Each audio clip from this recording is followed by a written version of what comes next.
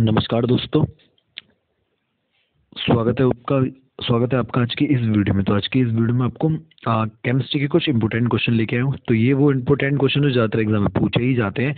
और जैसे कि आप सबको पता आपका जो पेपर है आठ तारीख को आपका केमिस्ट्री अप्लाइड केमिस्ट्री का पेपर है। यानी कि कल आपका केमिस्ट्री का पेपर है। तो आज की इस वीडियो में अगर आप पूरी मतलब वन वीडियो और मार्क्स पैंतालीस प्लस समझे आप? मतलब एक वीडियो से आप चालीस से ऊपर पैंतालीस से ऊपर मार्क्स ला सकते हैं। मेरा आपसे बात है तो वीडियो को अंत तक ज़रूर देखें। वीडियो आज की थोड़ा लंबी रहने वाली है लेकिन आ, आज की इस वीडियो में मैं सारा कवर करूँगा। जितने भी इंपॉर्टेंट क्वेश्चन है एक नंबर दो नंबर पाँच नंबर सारे ठीक है? तो चलिए स्टार्ट करते हैं। पहला क्वेश्चन है eight eight R eight two two six में प्रोटॉन और न्यूट्रॉन की संख्या बताइए। तो देखो, अगर आपको कोई ऐसा क्वेश्चन अगर मिल जाता है, ठीक है, कि वहाँ पे, ठीक है, कोई एटम नंबर दे दे रखा होता तो एट एट जो है हमारा, वो क्या है इसमें? न्यूट्रॉन प्रोटॉन है। एट एट है प्रोटॉन और न्यूट्रॉन क्या होता है? न्यूट्रॉन तो जितने भी जहाँ डी होती है, उसको माइनस कर देते हैं हम प्रोटॉन से। टू टू सिक्स को माइनस कर देंगे एट एट से, हमारा प्रोटॉन निकल न्यूट्रॉन निकल आएगा। न्यूट्रॉन यहाँ पे आ गया कितना? वन एट थ्री ठीक है।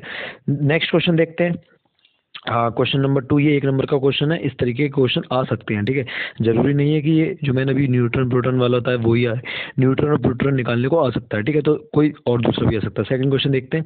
सेकंड क्वेश्चन है एल इजिकल टू थ्री के लिए एम के मान ज्ञात करो। आपको एल इजिकल टू थ्री के लिए एम का मान ज्ञात करना तो देखो एल इजिकल टू थ्री पर एम के संभावित मान प्लस एल से माइनस एल तक शून्य सहित। M equal to plus three भी हो सकता है प्लस टू भी हो सकता है प्लस वन भी हो सकता है, और ज़ीरो भी हो सकता है माइनस वन भी हो सकता है माइनस टू भी हो सकता है माइनस थ्री थ्री भी हो सकता है। एक नंबर का क्वेश्चन है एग्ज़ाम में पूछा ही जाता है इस तरीका का। इसी तरीके का एग्ज़ाम में पूछा जाता है तो आप तैयार कर लें। प्रश्न number three copper sulphate zinc से बनी बर्तन में संग्रह नहीं किया जा सकता क्यों? दो नंबर का क्वेश्चन है, पाँच नंबर में भी आता है। लिखा है कॉपर सल्फेट जिंक से बनी बर्तन में संग्रह नहीं किया जा सकता। है तो लिखा है कॉपर सल्फेट में बिलेन को जिंक से बने बर्तन में नहीं रखा जा सकता, क्योंकि विद्युत रासायनिक श्रेणी में जिंक कॉपर से ऊपर स्थित है, जिसके कारण वह आपको विस्थापित कर देगा। इसके लक्षण के इसके लवड़न के बिलियन में, अतः जिंक का लक्षण जिनका चरण होना शुरू हो जाएगा, ठीक है? नेक्स्ट क्वेश्चन की बात करें तो नेक्स्ट क्वेश्चन है, किसी एक एसपी संस्करण का उदाहरण दीजिए। तो देखो एसपी संस्करण का उदाहरण क्या है? बी सी एल टू ठीक है? जिसका कोड बनता है वन एटी ठीक है? क्वेश्चन नंबर फाइव देखते हैं। समस्थानिक और संभारिक को परिभाषित कीजिए। पाँच नंबर का क्वेश्चन है एग्ज़ाम में पूछा ही जाता है। एक आप समस्थानिक पहले समझाइए, फिर संभारिक समझाइए, ठीक है? एक एक एग्ज़ाम्पल लिख लीजिए। जैसे यहाँ पे उत्तर में मैंने दिखाया भी, समस्थानिक समझाया पहले। लिखा किसी एक ही एक ही रासायनिक तत्व तथा समान परमाणु संख्या वाले परमाणु जिनके परमाणु द्रव्यमान भिन्न भिन्न होते हैं, समस्थानिक कहलाते हैं। मतलब जिनके परमाणु द्रव्यमान भिन्न भिन्न हो, वो समस्थानिक कहलाते हैं। संभारिक जिनके परमाणु परमाणु द्रव्यमान सेम होते हैं, वो हमारे संभारिक कहलाते हैं, ठीक है? जैसे हाइड्रोजन के चार समस्थानिक हो गए one S two one S three one S four तथा वन एस थ्री। देखो, इनके जो हमारे द्रव्यमान है, वो अलग अलग है, ठीक है? द्रव्यमान अलग अलग हैं, लेकिन जो हमारे परमाणु संख्या जो है, वो सेम है, ठीक है? नेक्स्ट की बात करें संभारिक ऐसे परमाणु जिनका परमाणु क्रमांक भिन्न भिन्न होता था परमाणु द्रव्यमान समान हो, ठीक है? जस्ट अपोजिट होता है संस्थानिक का संभारिक ठीक है? ट्वेंटी फोर इसकी ये देखो, ठीक है? आप समझ गए होगे, ठीक है?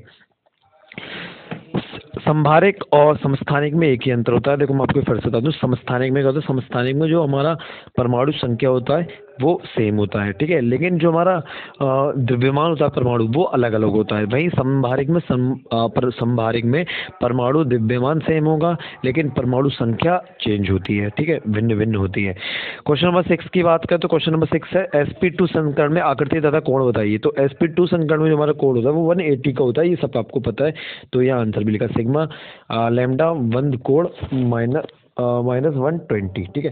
नेक्स्ट क्वेश्चन की बात करें तो नेक्स्ट क्वेश्चन है शॉर्ट की तथा फ्रेंकल दोषों में अंतर। आपको शॉर्ट की तथा फ्रेंकल दोषों में अंतर बताना है। पाँच नंबर का क्वेश्चन है। अंतर इसमें भी आ जाता है, ठीक है? तो आप यहाँ से स्क्रीनशॉट ले सकते हो इस आंसर का। आराम से इसको तैयार कर सकते हो, ठीक है? जैसे शॉर्ट की में लिखा है कि इस दोष में धनायन तथा ऋणायन अपने जालक स्थलों से पूर्णतः हट जाते हैं तथा धनायन और ऋणायन संख्या में परस्पर बराबर हो जाते हैं। वहीं फ्रेंकल में लिखा है, इस दोष में एक आयन, धनायन या ऋणायन अपने जालक बिंदु को छोड़कर अंतरकाशी स्थल में आ जाते हैं, ठीक है? आप तीन तीन, चार चार पॉइंट तीनों, दोनों में लिख सकते हो शॉर्ट की में भी लिख सकते हो फ्रेंकल में भी लिख सकते हो, ठीक है? पाँच नंबर का क्वेश्चन आपके पाँच नंबर यहाँ से पक्के हो जाते हैं। ये इंपॉर्टेंट क्वेश्चन है एग्ज़ाम में आप इस बार आने की संभावना है, ठीक है? नेक्स्ट क्वेश्चन की बात करें नेक्स्ट क्वेश्चन है अपस्फोटन और अपस्फोट्रो अप अप स्फोटन और अप स्फोटोरोधी कारकों को सचिव टिप्पणी लिखिए ठीक है? ये क्वेश्चन ज़्यादातर एग्ज़ाम में पूछा जाता है और बढ़िया क्वेश्चन है। इस बार भी एग्ज़ाम में आने की संभावना बहुत ही अधिक है। इसके सोल्यूशन के आप यहाँ से स्क्रीनशॉट ले सकते हो, उसको तैयार कर सकते हो, ठीक है? नेक्स्ट क्वेश्चन की बात करें तो नेक्स्ट क्वेश्चन है स्नेकों का वर्गीकरण कीजिए। ठीक है स्नेकों का वर्गीकरण कीजिए, ये क्वेश्चन ज़्यादातर एग्ज़ाम में पूछा ही जाता है, ठीक है? तो देखो स्नेकों का निम्नलिखित तीन, स्नेहक जो होते हैं, वो हमारे तीन टाइप के होते हैं, ये सबको पता है, ठीक है? ठोस अद्र ठोस और द्रव। देखो, ठोस में क्या होता है? ठोस में हमारे सोप स्टोन मोम टाइमाइका सल्फाइड आदि इस प्रकार के स्नेक की श्रेणी में आते हैं। ये स्नेक ऐसे स्थानों पर प्रयोग किए जाते हैं जहाँ ज्वलनशील स्नेक प्रयोग नहीं किए जाते, ठीक है? देखो, ठोस स्नेक हमारे वो होते हैं, जैसे हमारा सोप, साबुन हो गया, साबुन, स्टोन, मोम हो गई, ठीक है? ये वहाँ यूज़ किए जाते हैं। हमारे जो ज्वलनशील पदार्थ होते हैं, ज्वलनशील स्नेक होते हैं, वो प्रयोग नहीं होते। अर्धठोस क्या होता है? मुर्गता ग्रीस तथा बेसलिन जो अर्धठोस होता है, वो उसमें एग्ज़ाम्पल उसका है बेसलिन और ग्रीस, ठीक है? ये हमारे जैसे लिखा भी है कि मुख्यतः ग्रीस तथा बेसलिन अर्ध ठोस स्नेह के रूप में प्रयोग किए जाते हैं। उनके अनेक प्रकार के पदार्थों को मिलाकर विभिन्न प्रकार की ग्रीस तैयार की जाती है, जिनके गुण भिन्न भिन्न होते हैं। इनमें ग्रेफाइड ग्रीस, कप एक्सिल बेलन, एमी ग्रीस आदि प्रमुख है, ठीक है? द्रव ठोस में क्या होता है द्रव ठोस में हमारे पेट्रोलियम वगैरह आ गए, वनस्पति तेल आ गए जीव जंतु को जो भी तेल होता है सिंथेटिक तेल होता है कटिंग तेल होता है, ठीक है, जितने भी हमारे तेल वगैरह होते हैं पेट्रोलियम जो होता है, ठीक है, वो है द्रव स्नेक होते हैं, ठीक है।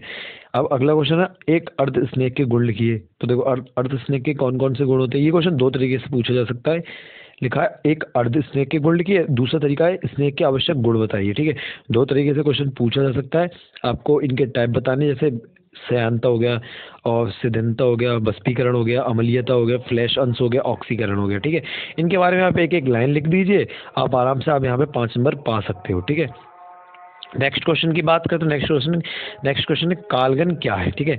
आपको बताना कि कालगन क्या है? कालगन रासायनिक रूप से सोडियम हेक्सा फॉस्फेट है, जिसकी रासायनिक सूत्र N A two N A four P O three six होता है। ठीक है? कालगन क्या है? देखो, ये क्वेश्चन एक नंबर में पूछा जाता है ज़्यादातर तो पूछा जा सकता है। इसलिए मैंने सोचा मैं आप तक बता दूँ। ठीक है? ये क्वेश्चन एक और पूछा जाता है ज़्यादातर कि बॉयलर में पपड़ी बनने से क्या हानि होती है? देखो, आपको यहाँ बताना कि बॉयलर में जो पपड़ी बन जाती है, उससे हमारा क्या क्या नुकसान होता है, वो बताना है।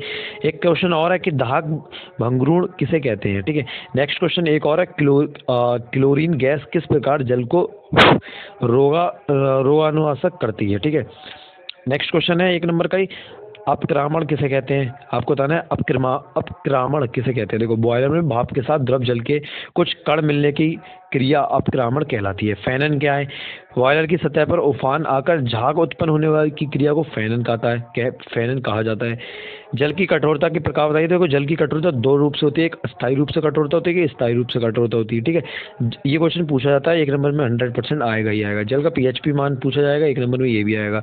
तो जल का जो पीएचपी मान होता है, वो सात होता है। तो जल उदासीन द्रव है। और जल कौन सा द्रव हमारा उदासीन द्रव है। ठीक है नेक्स्ट क्वेश्चन की बात कर तो ये नेक्स्ट क्वेश्चन एक इम्पोर्टेंट क्वेश्चन है एग्ज़ाम में पूछा ही जाता है पाँच नंबर का क्वेश्चन है कि सी एड सी ओ डी और बी ओ डी क्या है तो देखो सी ओ डी क्या सी ओ डी हमारी है केमिकल ऑक्सीजन डिमांड और बी ओ डी होता है बायोलॉजिकल ऑक्सीजन डिमांड ये सी ओ डी और डी ओ डी आपको अलग अलग भी पूछा जा सकता है कि जैसे सी ओ डी बताइए what is C O D या सी ओ डी को परिभाषित कीजिए या वी ओ डी को परिभाषित कीजिए या फिर ये भी पूछा जाता है कि सी ओ डी और वी ओ डी में अनेक वो अंतर बताइए, उनके अंतरों की विवेचना कीजिए, ठीक है? पाँच नंबर आपके यहाँ से हंड्रेड परसेंट पक्के हो जाएँगे, आप ये बिल्कुल न छोड़ें, ठीक है? नेक्स्ट क्वेश्चन की बात करें तो नेक्स्ट क्वेश्चन नाइलॉन सिक्स की एक लाख इकाई की संरचना कीजिए। दो नंबर में क्वेश्चन ये पूछा जा सकता है, और ज़्यादातर पूछा ही जाता है कि नाइलॉन सिक्स हो गया नाइलॉन सिक्स सिक्स हो गया इनकी, ठीक है? एक नंबर का क्वेश्चन आपको और बता दूँ कि किस बहुलक से आर्लिन अथवा एक्लिन जैसे रेसे बनाए जाते हैं, ये भी पूछा जाता है। किस बहुलक का उपयोग नॉन स्ट्रिक बर्तन बनाने में किया जाता है? एल स्ट्राइजर क्या है? एक है एक नंबर के क्वेश्चन है इनको बिल्कुल छोड़ के ना जाइए ठीक है? हाँ तो आज की इस वीडियो में बस इतना ही। आ, ये जो वो क्वेश्चन थे जाते एग्ज़ाम में पूछे ही जाते हैं। जितना मैंने आपको क्वेश्चन बताएँ पढ़ के बताएँ वो सारे क्वेश्चन आप उनको तैयार कीजिए। और आ, मैंने आंसर इसलिए लिखे हैं यहाँ पे कि ताकि आप स्क्रीनशॉट लेके अगर आपको आंसर किसी चीज़ का नहीं मिल रहा तो आप यहाँ से आंसर उसको देख सकते हो उसको तैयार कर सकते हो ठीक है? तो वीडियो में अंत तक बने रहें। वीडियो में सॉरी अंत तक बने रहने के लिए बहुत बहुत धन्यवाद। आपके अगर आपने ये पूरी वीडियो करके जाते हो तो आप चालीस प्लस मार्क्स यहाँ से ला सकते हो ठीक है? तो वीडियो को लास्ट तक देखने के लिए बहुत बहुत धन्यवाद। जुड़े रहे हमारे चैनल के साथ। मिलते हैं अगली वीडियो में। तब तक के लिए नमस्कार।